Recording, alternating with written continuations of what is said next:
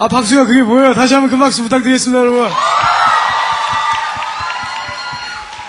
아니, 이런 사람이 4년 동안 판을 안 내는 건, 에, 맞을 짓입니다.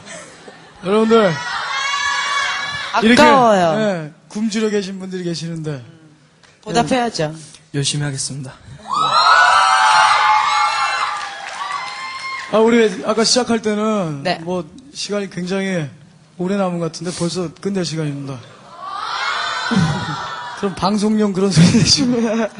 예, 이게, 그럼 시간이 금방 가네요. 그러네요. 그래도 너무 아쉽습니다. 음. 근데 이렇게 시간 어떻게 재밌으셨어요? 저 우리한테는 너무 뜻깊은 자리였습니다. 특히 이렇게 방송을 오래 안 하다가 이 셋이 가장 비적합한 방송인 셋이 모였으니까 예, 아주 좋은 시간이었고요. 네. 우리 마지막 곡 하나 남았는데 에, 괜찮아요. 저희 셋이 같이 할 거니까 괜찮아요. 팬들이 좀 드센 것 같아. 예, 우리 마지막 곡으로 우리 대선배이신 봄, 여름, 가을, 가을, 겨울. 겨울. 선배님들 곡 가운데 이런 노래 있죠?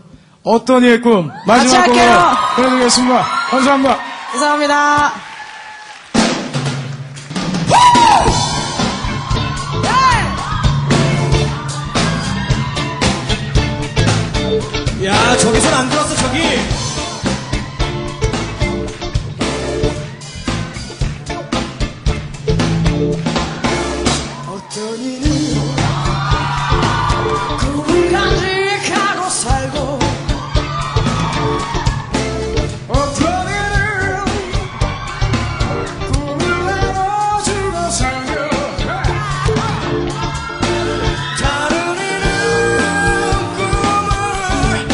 Rudy.